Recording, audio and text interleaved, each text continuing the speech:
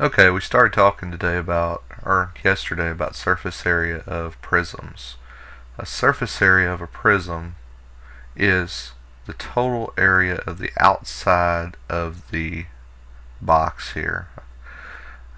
So, to find the total surface area, this is what we do. First, I'm going to give these some lengths. So let's say this is 8 feet long, 3 feet long,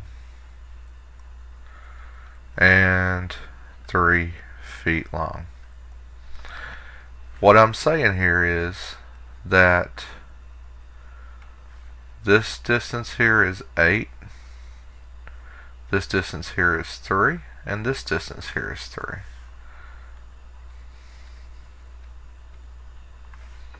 Alright. What I'm going to do now is set this up. This is the way I always want you to do this. I want you to write these words. Top, bottom, front, back, side, and side. Alright, the front is the part we can see facing us. The front is made up of a rectangle that is 8 feet long. So if I were to draw just the front, it would look like this. It would be 8 feet long and 3 feet tall. And the area formula for a rectangle is length times width. So length times width. So if this is 8 and this is 3 for the front, it would be 8 times 3, which is 24 the back would match it. The back is that side you can't see behind it. So here is the front and behind it is the back. Now this is what I'm going to call the side. Doesn't really matter if it's the right or left side because they're both going to match each other. The other side is over here and you wouldn't be able to see it. The side is 3 by 3 three foot, three foot. The other side would also be three by three. Three times three is nine. Now the top is going to be up here. And the bottom down at the bottom. The top is eight foot long and it is three feet wide. So the top and bottom is also 8 by 3.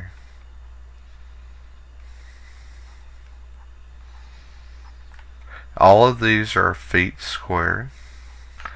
Okay, once you get all the measurements of all the sides, you simply add them up. So that would be 24 four times. So bring up my trusty calculator and 24 times 4 equals 96. And I know 99 is 18, so plus 18, and that equals 114 so 114 feet squared. Now that's surface area of a prism. I'm going to pause just a minute and let you get this down in your notes. Now, okay, what we have here is called a cylinder. A cylinder is a three-dimensional object with two circles at each end joined together by a lateral area when unfolded is a rectangle. I'll be demonstrating with a sheet of paper as the video plays.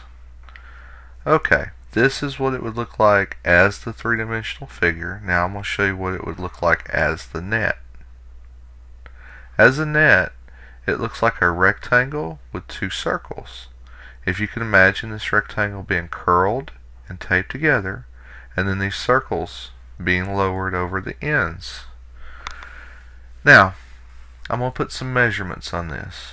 We're going to call this radius 3 feet.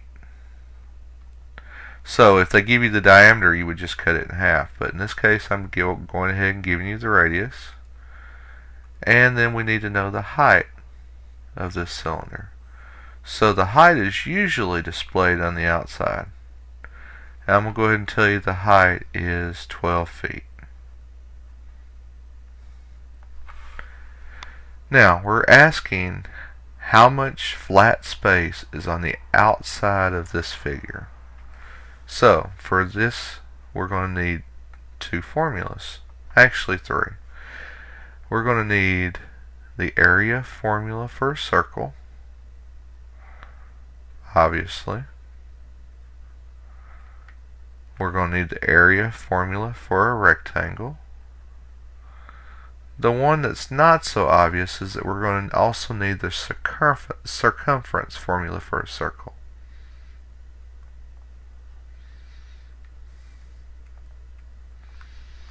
Okay. Once you have these three formulas copied down, you start arranging your work.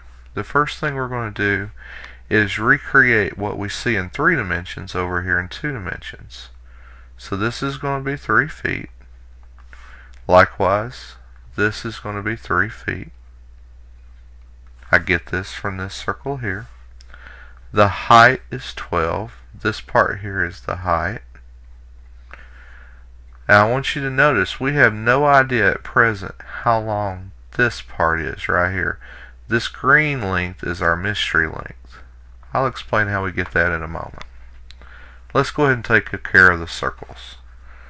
Area formula for a circle is area equals pi r squared. So I'm going to go ahead and write pi as 3.14. And the radius is 3 squared. Once I know the area of one circle, I will know the area of both of them because they are congruent.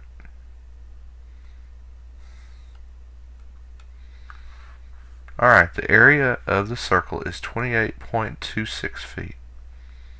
28.26 feet squared. Likewise, the area of this circle is 28.26 feet squared. Okay, we're halfway there.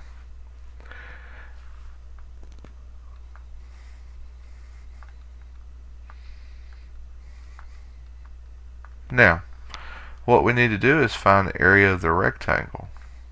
Area of the rectangle is length times width. The problem is we know the width or the length, either one you want to call it. We know one of the numbers, but we don't know the other one.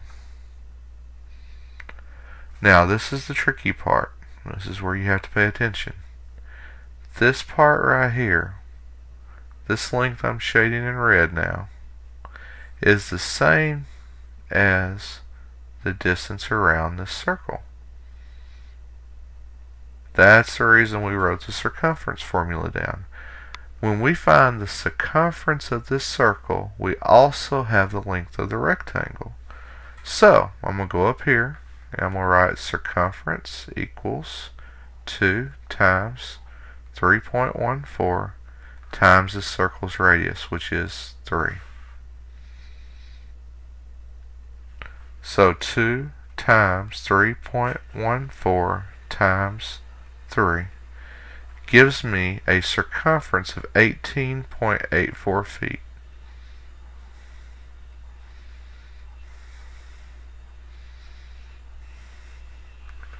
Which means this distance here is 18.84 feet. Now that I know this, I can plug it in right here and I have length times width. Go ahead and work that out. So 18.84 times 12 and that gives me 226.08 feet.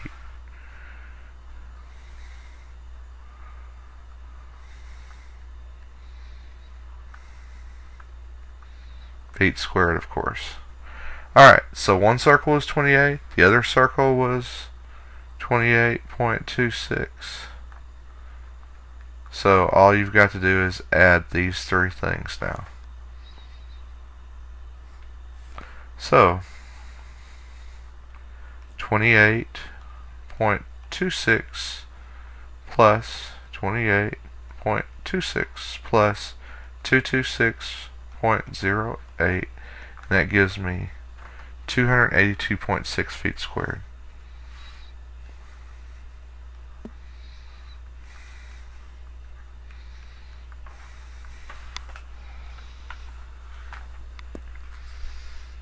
And this is how you find the surface area of a cylinder. Let's recap. First thing, when you get a cylinder, I want you to draw it like this. That helps you understand what's going on. Once you draw it like this, find the radius of the circle. In this case, the radius was 3. Find the area of this circle, then find the area of this circle. Once you know one, you know both, so that's easy. Then you have to find the circumference of the circle to find this distance right here. Once you do that and find the circumference of the circle, write in both distances here, and length times width gives you the area of the rectangle. The area of this rectangle, for instance, was 226.08 feet squared. Once you know the area of the rectangle, just simply add what I'm highlighting together. You add the area of the circle, the area of the rectangle, and then the area of the uh, last circle. And then you have the total surface area. And that's it.